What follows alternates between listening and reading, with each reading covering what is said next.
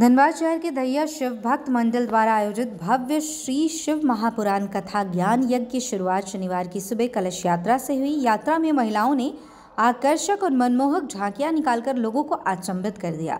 कलश यात्रा के दौरान महिलाओं द्वारा नृत्य करते हुए ढोल नगाड़े की प्रस्तुति देखते ही बन रही थी। कलश यात्रा मैदान स्थित श्री खंडेश्वरी बाबा मंदिर से सिर पर कलश लेकर शुरू हुई जो बाबा भोले की पूजा अर्चना करते हुए भव्य जुलूस के साथ निकला। यात्रा शहर के प्रमुख मार्गों का भ्रमण करते हुए दहिया स्थित कथा स्थल तक पहुँचा।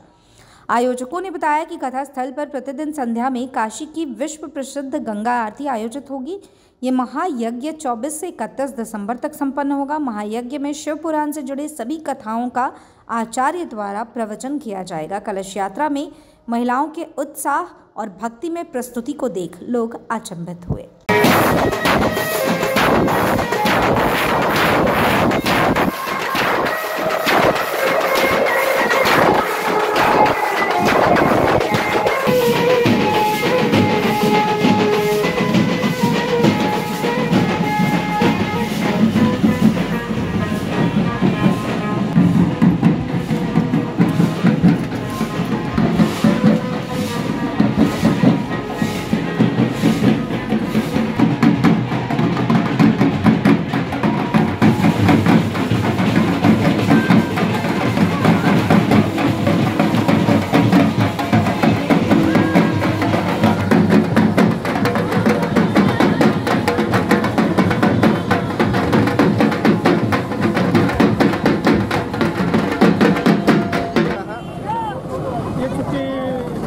आने वाला है और इस वर्ष का इस समाप्ति का है।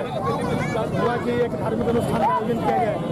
ये शिव भक्त मंडल भैया नाथ की ओर से इस प्रकार का एक आयोजन किया जा रहा है जो आज से लेकर इकतीस तारीख तक एक सात दिवसीय संध्या तीन से छः एक शिव कथा का आयोजन किया गया।